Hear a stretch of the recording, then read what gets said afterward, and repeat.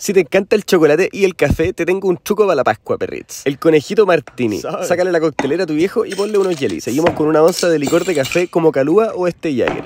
Una onza de licor de cacao, para que no te desee todo un poco de agüita. Un shot de espresso o una cucharadita de café disuelta en 30 ml de agua. Una onza de crema de leche. Cerramos y batimos hasta que se enfríen las manos y colamos. Ponle un hoyo entre los ojos al conejito de Pascua con una bombilla metálica calentada y le dedicamos un temita a nuestro Señor Jesucristo.